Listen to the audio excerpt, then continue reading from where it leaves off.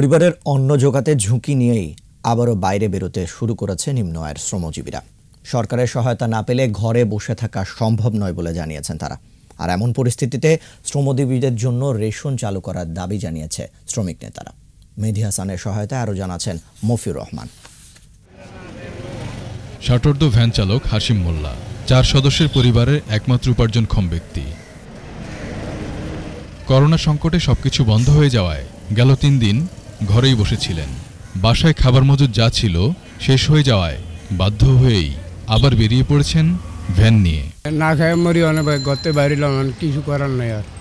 বাজারও খ্যাপ ট্যাপ নাই একদম ঠান্ডা। পাঁচশো টাকা করলে পুরা সংসার আমার চলে খানো হলো চারজন। তার মতো খেটে খাওয়া সবারই একই সমস্যা। এখন খুব অসহায় অবস্থায় আমরা দিন কাটাচ্ছি। আমরা তো দিন আনে দিন খাই। রোজ যদি ইনকাম না হয় তাহলে তো আমাদের চলা মুশকিল। শ্রমিক নেতারা বলছেন এ ধরনের শ্রমজীবীদের জন্য যে সহায়তার কথা সরকার বলছে সেই সুবিধা সবার কাছে নাও পৌঁছাতে পারে। গ্রাম শহর মিলে সর্বাত্মক একটা রেশনিং ব্যবস্থা সরকারের দিক থেকে চালু করা ছাড়া এই শ্রমজীবী মানুষকে বাঁচানোর কোনো পথ নেই।